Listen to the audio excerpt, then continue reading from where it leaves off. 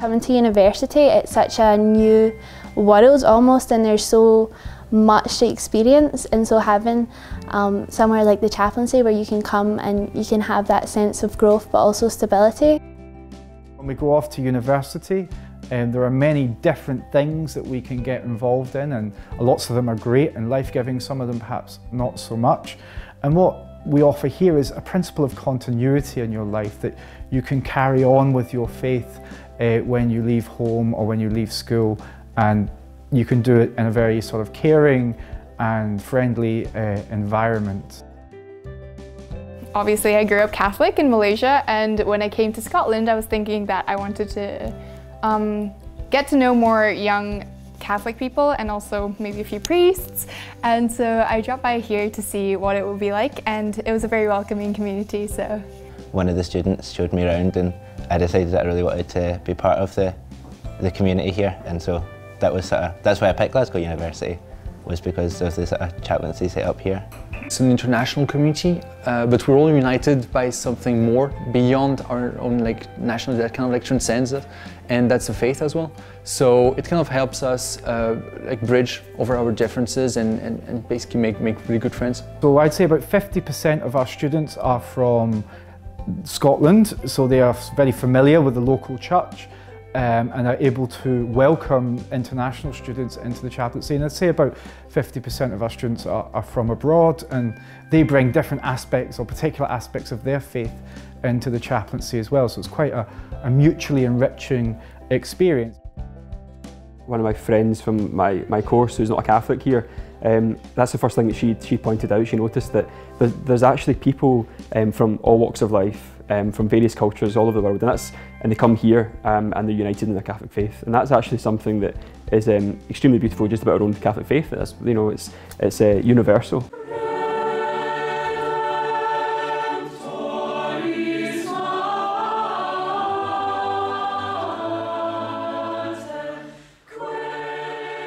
We're very lucky to have Mass every day at uh, five past one, so it fits into your lecture schedule as well. You can come straight from class and just having even the space to study or to socialise is something that's really important because there'll be a lot of times in your timetable that you just have like gaps in time and so having somewhere that you can come to I think is really important because like I think university can almost be slightly isolating sometimes.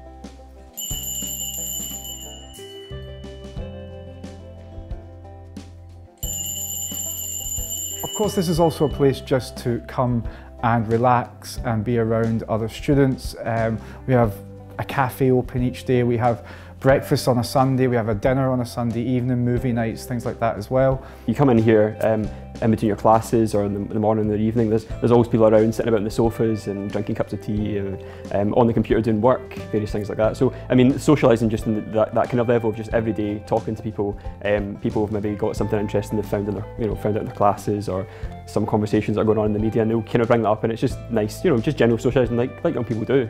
Um, so that, that's certainly, that exists in the chaplaincy every day. Um, and we also have various social events uh, throughout the year, a Burns Supper, uh, an end of term ball, Christmas dinner, uh, things like that. So big sort of formal events too. It's nice, see rustic labour dict. Why cut you up with ready slicked, trenching your gushing entrails bricked. Like uh, the chaplaincy does an amazing job in organising socials, events all year long. And they, they all have um, such a great vibe to them, you know, and, and the social committee and the rest of the board really get up to organising these events and just making it comfortable for everyone. I do love a good ceilidh, so I do have quite a few of them. It's one of our uh, big welcoming events as well because I think for people coming to Scotland for the first time to see that kind of rich tradition of like the ceilidh dancing and you know it gets everyone involved, there's set moves so you don't have to worry about what you look like, you know, and I think people really do enjoy it.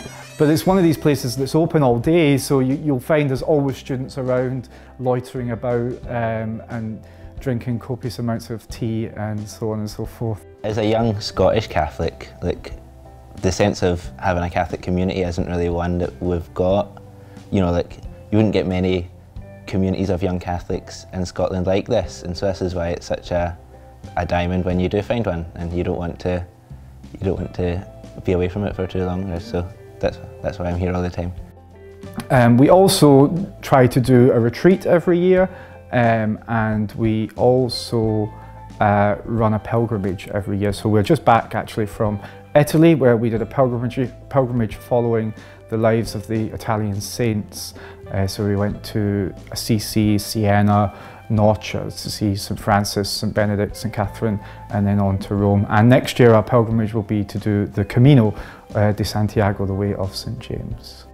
So every year we have uh, various trips, um, some of them abroad, some of them within the UK.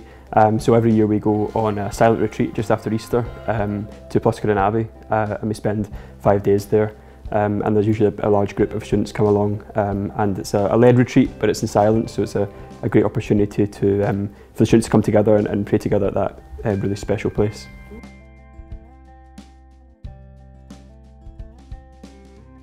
Two big events each week, which is the Catholic Society group and then the Glasgow Faith Forum, which is sort of a separate thing. And these are the two main catechetical events. Every week we have CathSoc and we discuss maybe the fathers of the church or um, other topics such as that.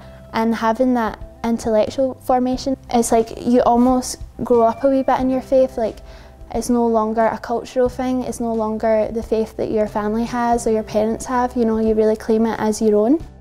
One week we were giving a talk, the next week it's a, it's a forum, a discussion. So, uh, for example, our last talk was on the Cappadocian Fathers, and the forum, the discussion after that was on the virtue of chastity and how important it is, you know, as young Catholics that we try and live out these virtues. There are a number of different groups that you can join which will help you to develop your faith. So we have, for example, a Catholic Society for undergraduate students which meets to, to um, look at different aspects of the faith.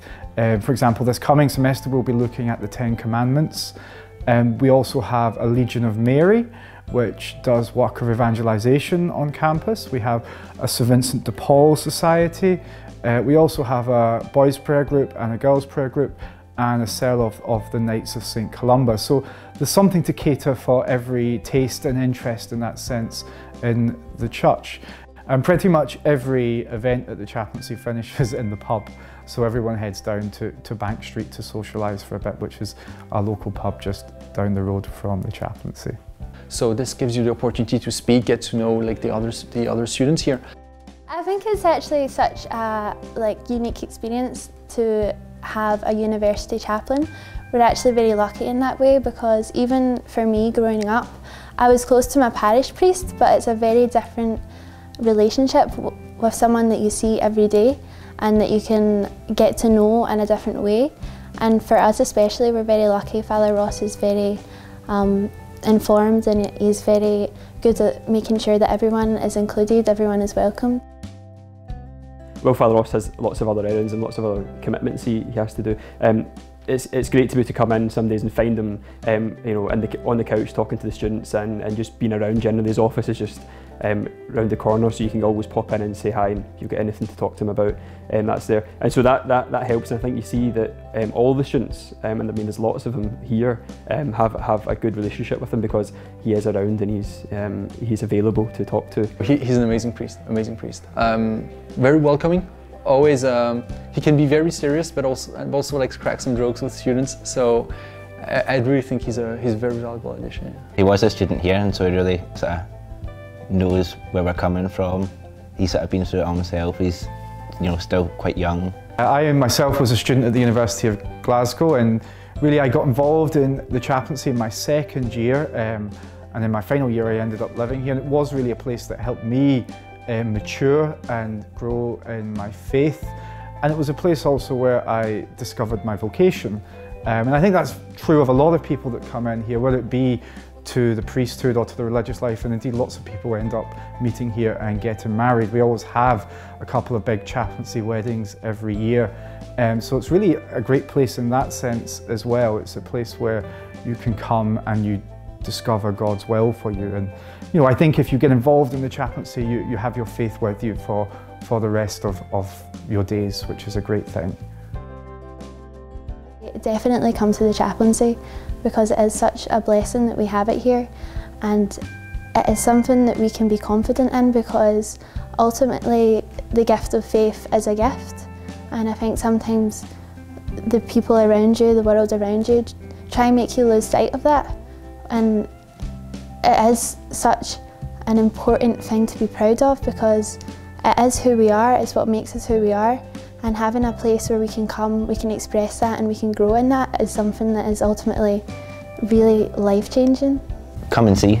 That would be, you know, the invitation that uh, that Nathaniel got. You know, come and see, and I suppose that's, you know, our Lord's here, but also, you know, there's a, a great community and stuff like that, and it's not something you would regret. Definitely not.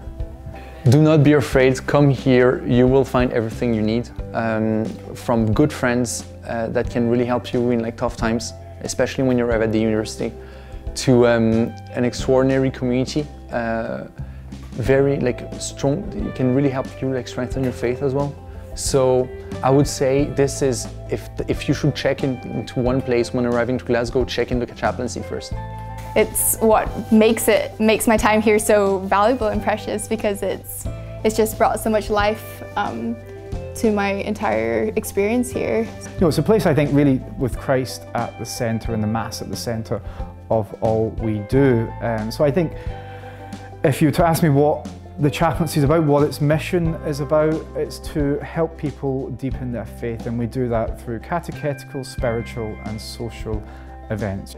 People leave and they graduate, they, they move on in life and then they always come back and say, you know, the friends I met at the, univers at the university, at the chaplaincy, are my best friends for life, you know, because when you have a friendship that's really rooted in Christ, then it, it, it lasts.